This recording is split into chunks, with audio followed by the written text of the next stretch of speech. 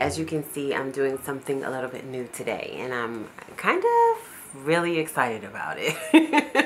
Welcome to the FallCo family. We are a homeschooling family who has been sharing here on YouTube for several years now and we have just taken a new turn in our journey. We have most recently created a new channel trailer um, if you have not seen that, we'd love it if you would go and check it out to learn a little bit more about us. But we are a family of filmmakers. We are a homeschooling family um, on a journey to live and learn together using books and life as our curriculum.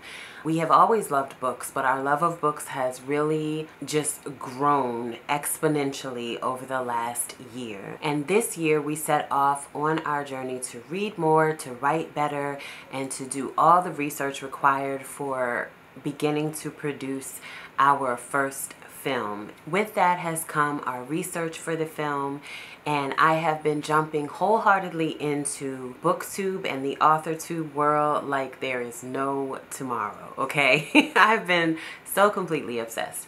This is me jumping all the way in and joining the reading rush. The reading rush is a challenge that was developed by beautiful women in the booktube community. I will leave the links to all of the information in their website below but basically it's a set of challenges. It spans a week of time which is actually this week so I'm a little bit late. Introducing ourselves or filming this TBR, which I found out stands for to be read. That's how new I am at all of this, okay? the goal of the reading rush is just to spend a good seven days just trying to read as much as possible and trying to follow some of the prompts or the challenges that have been set aside for you to use in selecting your books or your reading choices and so that is what I'm going to kind of share today. I am really excited. I am going to say that I do not plan on reading through every one of these books. I don't. But I thought what better way than to jump in than to go ahead and challenge myself and see where we land at the end of the week. So that is what I'm currently doing. I'm going to follow the challenges. I'm going to select our books and then I am going to try to document trying to press myself to read a bit more um, throughout the span of this week. So I'm very excited and if you are from the booktube community i would love it if you would say hello in the comments talk to me give me some encouragement. We have been doing a book year for the last three years and we are moving into our third year of our book year of which i plan to do a separate video that is long overdue explaining our book year and how I feel like being a part of the booktube community um, or the Bookstagram community will really help us to grow in that space. So I'm just going to show you what I have. These are my books. and I'm just going to read the prompts so that I can tell you how I've selected each one of these books. I'm really excited to just add a different voice in the booktube community.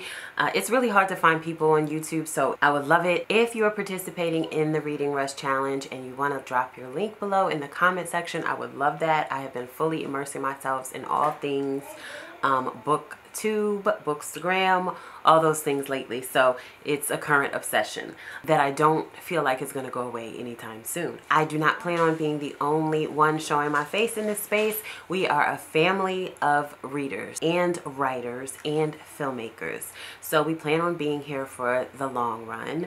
So the first prompt being to read a book with a cover that matches the color of your birthstone. So I am an October baby, so my birthstone is opal. This one was kind of hard because opal's like that foggy, glassy, milky type of color that has specks and colors of the rainbow in it. I was like, I'm really not sure what I'm supposed to choose here. But I think I came up with something really good. The Enchanted Hour, The Miraculous Power of Reading Aloud in the Age of Distraction by Meghan Cox Gurdon. I'm a big fan, a huge fan of reading aloud in our household. I talk all about that in my book year guide that is available when you sign up for our email newsletter on our website. But um, I've never actually read a book. I didn't, I actually haven't read too many books about homeschool at all.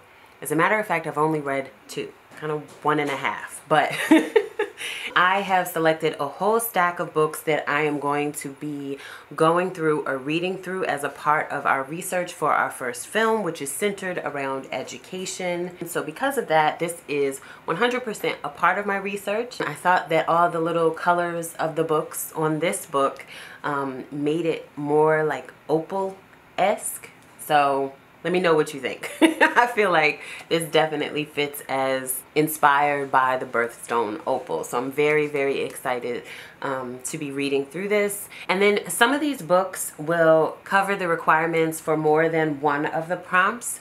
But I did select individual books just to start. And then I will put heavier priority on the ones that help me knock off more than um, one of the challenges just in case. The next one is to pick a book that starts with the word the. And in that case, I selected my all-time favorite middle grade for homeschool life. Read this a couple times to the kids. I'm going to read it again. I pretty much will probably read it every single year because I love it. I don't know, it just gave me all the creative ideas for approaching homeschool and life. Um, in a very creative and interesting and exciting way. So I'm excited to read back through it again and take all the notes and annotate this one so that I can try and put into words to be able to share with others why I enjoyed it so much and why I found it so beneficial earlier on in our homeschool journey. So, so the Phantom Booth. So the next one is to read a book um, based on a movie you've already seen. This one was actually pretty easy for me. I know a lot of people have a hard time with this because I'm pretty sure that in the book space, it is not a great thing to watch the movie before you read the book, but I actually really enjoy that. I, I guess because we are a family of filmmakers and we have a love and a heart for film, I just really like to see the movie first and then read the book after because then I begin to kind of critique or think about why they made certain choices in the movie, why they took certain things out, why they chose to tell it in a different way or from a different perspective. I just really like that. The book that I chose for this prompt, The Boy Who Harnessed the Wind, we actually really loved this movie and I am really excited to read the book. I don't know, just take it from there. Okay, so for the next one, the first book you touch. And I really didn't know how to do this one other than, so I basically selected three books that I know I want to read. And I think I'm going to have one of the kids come and just point to one of them without looking. I think that's kind of my plan of selecting the book. The first book they touch, I guess.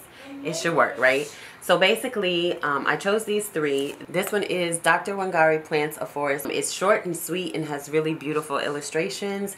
And um, I wanted to do more studying on her in general because I was studying on the outside. It's a whole thing. I talk about that with my Patreon friends. But I thought this one would be really sweet to add to the list and something I could definitely get accomplished. So the next one is Beyond the Bright Sea. So I am actually in Readerland. I guess I would be considered a lover of middle grade all the way.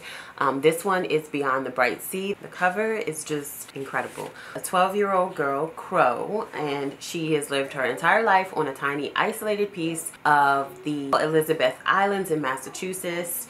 Abandoned and set adrift in a small boat when she was just hours old, Crow's only companions are the man who rescued and raised her and Miss Maggie, their fierce and affectionate neighbor across the sandbar. It's kind of a story of identity and finding your true place and the true meaning of family. I don't know. I just really wanted to read it. Um, I'm in a space now where my kids are really running through books so quickly that I wanted to step up my game as far as pre-reading things ahead of time. Not really because I want to read everything before them, but more so because I would love to be able to have engaging conversations with them and I would love to be able to pull out as much as possible to add to the educational bits of reading um, fiction in general. So this is one that I selected. And then the next one is A Long Walk. I pulled that up really quickly, didn't I? Wait a minute. Calm down, Serena. the next one is A Long Walk to Water. Um, it's based on a true story. My oldest is 11 and he is very much so into heavier um, fiction and nonfiction. This one is short and sweet, so we'll see which one they will help me to choose. Okay, so I'm gonna tell him to come in and point to the first one. Hi. So you're gonna help me? Mm-hmm. Okay, so mommy needs to select a book and the prompt says it needs to be the first one that you touch. So you're not gonna be able to look. You're gonna walk towards me, put your finger out. I'm gonna hold them up and the first one that you touch is the one that I'm gonna have to read, okay? So close your eyes. So I'm gonna hold them up. Go ahead. okay, try again, try again. Keep going. Is this what you wanted to read? Um, well, I wanted to read all three of them. So you just helped me, you just helped me select the one that I'm gonna read. Thank you. You're welcome. Okay. okay, so so it looks like we're gonna be reading Dr. Wangari Plants a Forest. Next up, read a book completely outside of your house. That I can do for sure. We have been reading or spending quite a bit of time in our backyard area, so that should be one that I can do for sure. The next one is read a book in a genre you've always wanted to read more of. So because like I said, I read mostly non-fiction picture books and a lot of middle grade, I really wanted to read more adult fiction in general. So is that good enough? so so for this one, I started this one a little bit ago and haven't gotten too far, but I did get the audiobook and I think that's going to help me push through so I can move a little bit further along in the story and then just kind of read along. Maybe that'll help me get through it a little bit quicker than I am because I'm currently reading at a snail at a snail pace okay? So i'm to be reading um, the water dancer. I already started it. I think i've gotten through uh, two or three chapters and i really love it. It's just that y'all i'm new to this okay?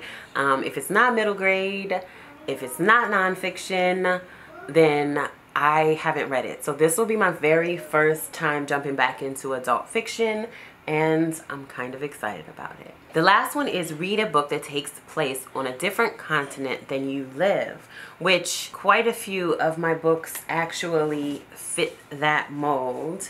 But I'm actually going to throw another book in the mix here and that is the book that my oldest is currently reading and I figured if I grab the audiobook of this one it will help me catch up a bit and then I can read along with him and that would open up some conversation for us. That is Amal Unbound. So I am really excited because they have been having so much fun getting through their independent reads that I'm like wait a minute I feel like I'm missing out.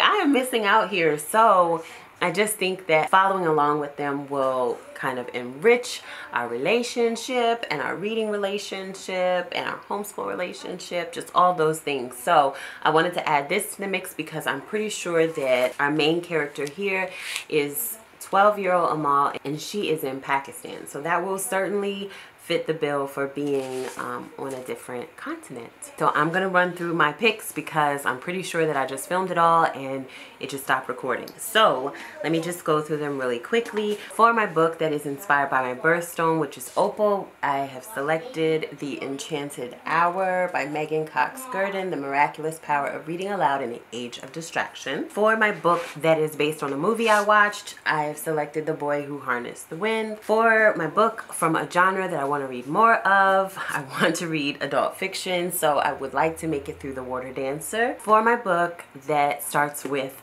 the word the, I have selected The Phantom Tollbooth. For my book set in a continent that I do not live on, I have selected Amal Unbound. And for my book that is the first one that we touched, we've got Dr. Wangari Plants a Forest. And this is what is on my very first Reading Rush TBR. Y'all pray, because I don't know. I don't know how much I'm going to get through, but I'm certainly going to try. And I'm excited about it. I'm also very excited about this being our introduction to the booktube community. Please make sure you say hi. Leave any suggestions for booktubers you love that I should know about. And leave links if you are participating in the Reading Rush and you've done a TBR. I would love to add that to my list of TBR videos that I have been obsessed with over the last several weeks. I've been wanting to do this for so long, but I needed something to spice things up in these YouTube streets for me, and that is what this booktube situation is doing for me. So, she's here. thank you for that. All of you beautiful booktubers that I have been following lately, of which I will leave all of their links in the description box below. I love you and you don't even know it yet. You don't even know it yet. Hi. Okay, looks like this one is back to help me in this video. You want to tell them? Remember that life is full of lessons. So we live and we learn. Bye. Bye.